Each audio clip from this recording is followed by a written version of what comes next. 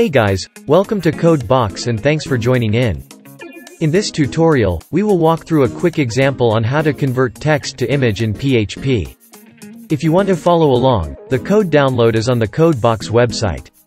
Link in the description box below. Before we start, please enable the GD extension on your web server. Open the php.ini file. Search for extension equals GD, and remove the semicolon in front. Take note that in the older versions of PHP, this will be GD2 instead. With that, let us get started.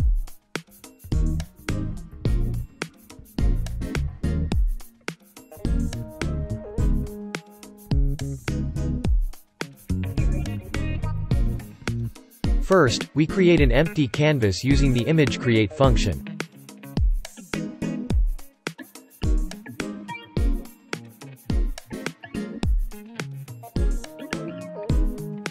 Then, define some colors using the image color allocate function.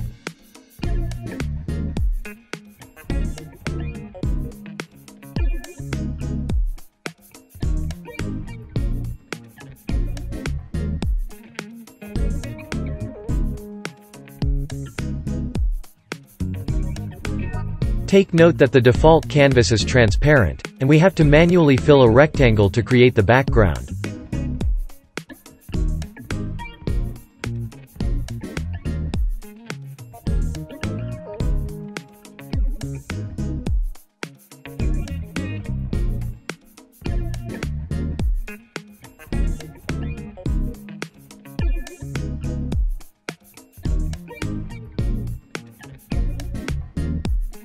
Following up, use the image ttf text function to write text onto the image.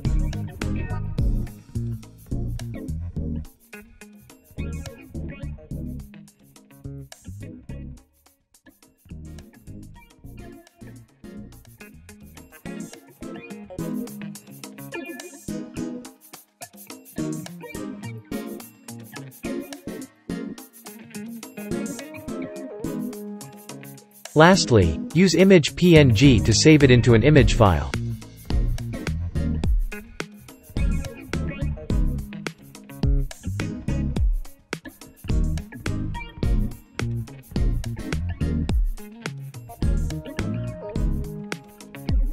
To show the image in the browser, we output the content type HTTP header.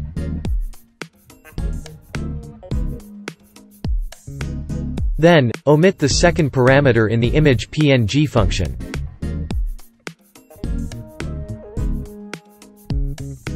With that, we have come to the end of this short tutorial. Thank you for watching. Thumbs up, subscribe, and hit that notification bell if you want to learn more. See you in the next one.